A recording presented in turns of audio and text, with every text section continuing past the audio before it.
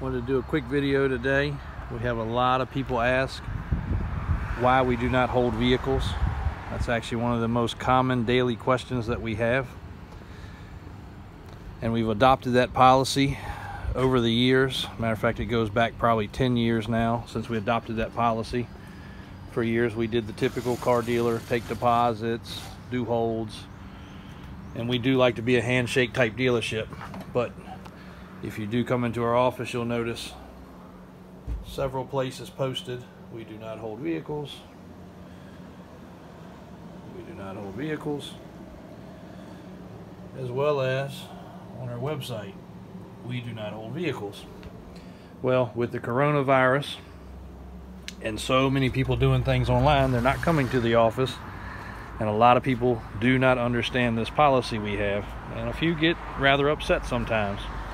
But just to explain our position, no different than if you put yourself in our shoes, I think you'll understand. Just like perfect example right here.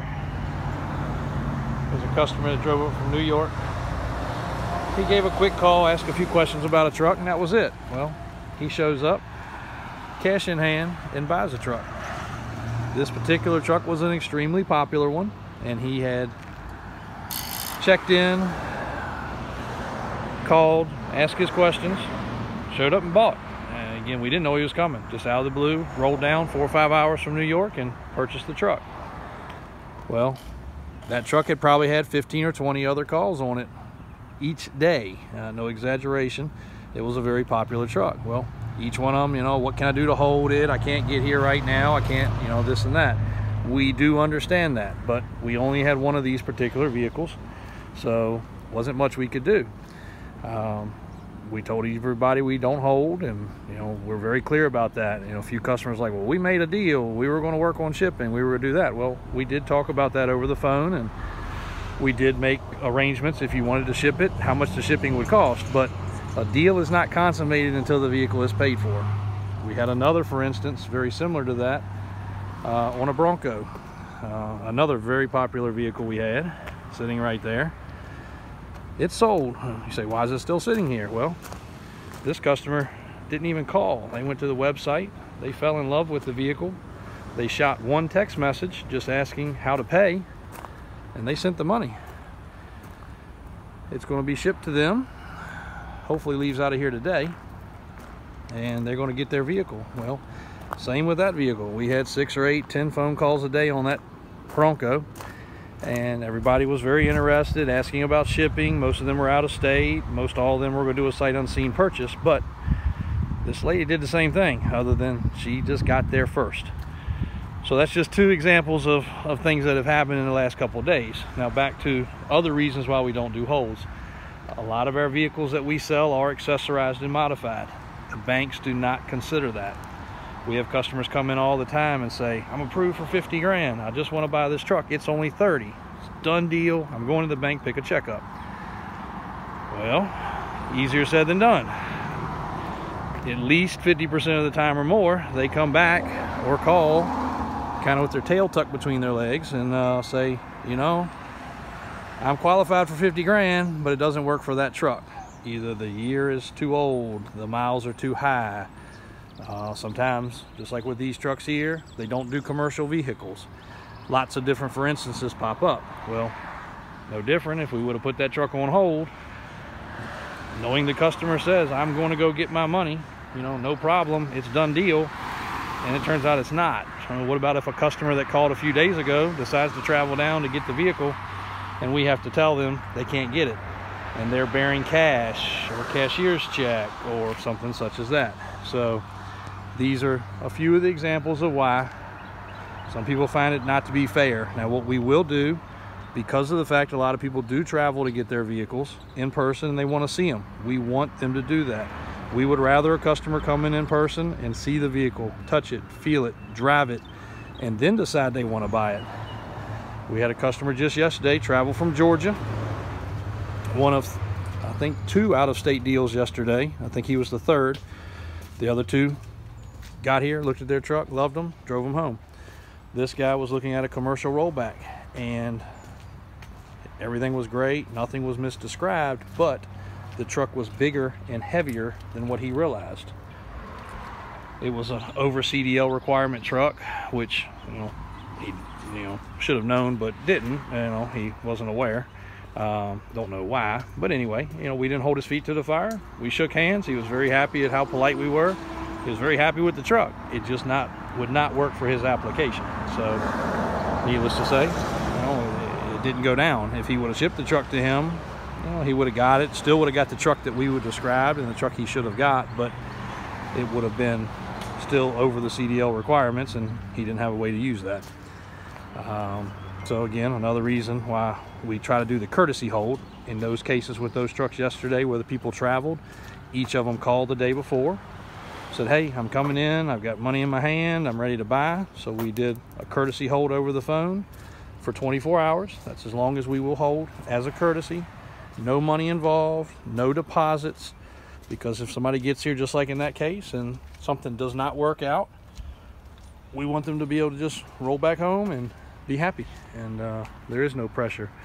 I know a lot of dealers try to do the whole deposit and hold your feet to the fire. And again, it's not what we do. And that's one of the reasons we do not like the deposit factor. People feel obligated. They feel like they're uh, locked into something. And that's the last thing we want them to think. Because in all reality, if the truck works for you, great. If it doesn't work for you, that's fine with us too. You know, nobody has ever been pressured into buying one of our trucks. Uh, we've never held a gun to anybody's head. You know, the trucks sell themselves 90% of the time. Um, so, you know, there is no talking involved or no salesman pitches that we have to throw at them. It's, if you like it, great. If you don't, it's okay. Somebody else will end up liking it too. So, again, this is a lot easier to explain when you can go through the whole rambling of, you know, a few minutes versus on the phone where people just get a little bit upset because they're not used to people not holding. But again, there's a perfect example.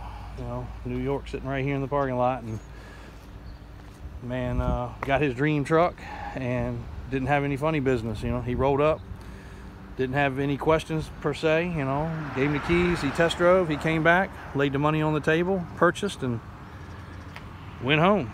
So, or was going home. If you have any questions on any of our vehicles, feel free to reach out.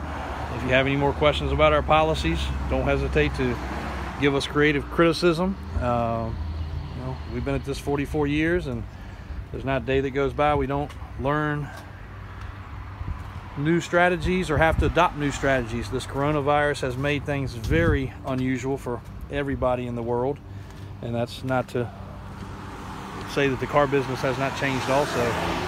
Our policy hasn't changed, but we have had to you know, bend the rules in some cases to try to accommodate people for traveling and for shipping and for everything else. But one thing that we really can't change is the no hold policy because if we do it for one and we don't do it for the next, then it just doesn't work out.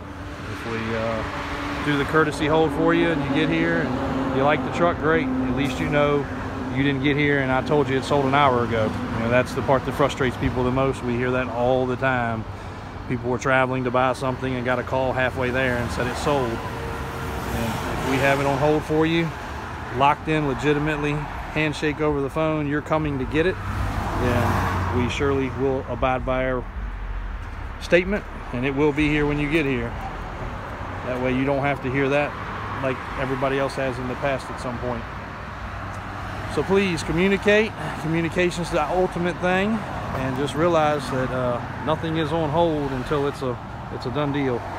Nothing is sold until it's paid for. And that goes in pretty much any business. There are dealers that still take deposits and hold vehicles, but you know, when they've got a lot full of 14 others that are just the same or 20 others, and you can see from the lot here, there are no two alike. Uh, everything we've got is very unique and people do get a lot of emotion involved in buying something from us because you know they're not just gonna go to the next street corner and buy another one you know like that CXT that's a that's probably a one of one truck you know there's probably not another one with 9,000 miles in the world and there might be one other that's bronze like this and there's probably no others that are this clean and well kept so there are a lot of one of a kinds that we sell and that's why it does get to be a little bit more emotional uh, or emotions involved. So anyway, sorry for all the rambling. We just wanted to explain. We refer a lot of people to our we refer a lot of people to our YouTube channel for situations like this, just so they can understand, and hopefully this puts some understanding to people that uh, we'll do what we say, but you have to communicate. You have to let us know you're traveling, and realize that when we say we don't hold, we really do not hold vehicles. Any questions or comments, drop them below. And reach us anytime at 804-271-0030. Or check out the website, davisautosales.com or davis4x4.com. Thank you.